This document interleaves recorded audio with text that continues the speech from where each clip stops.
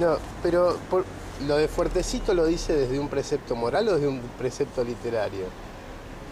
Eh, literario, bien, sí.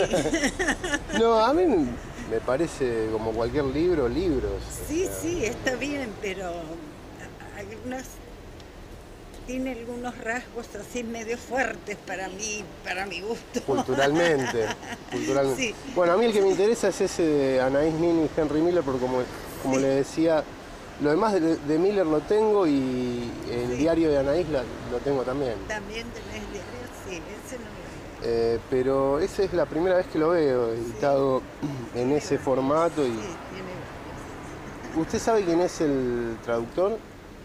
el traductor, ah, no. Ni idea. No me acuerdo, generalmente abajo.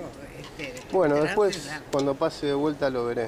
Sí, Eh, bueno, está, están encapsulados con, con papel transparente porque todo se ensucia y se estropean mucho. bueno, pero eh, Crimen y Castigo no es un libro fuerte.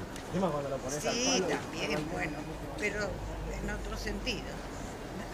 Y eh, cuando Foucault habla de el torturado por la sociedad en el sentido Claro, de Ah, Está bien, esos eh, en otros sentidos están este, fuertísimos. pero la connotación fuerte acá usted se la da por una cuestión sexual, eso es lo que le pregunto. Más o menos, sí. Entonces sí es moral Sí. el precepto, no es literario. Bueno, eh, ella lo hace en forma literaria. Es a una gran escritora. Es una gran escritora. A mí me parece que es una gran escritora.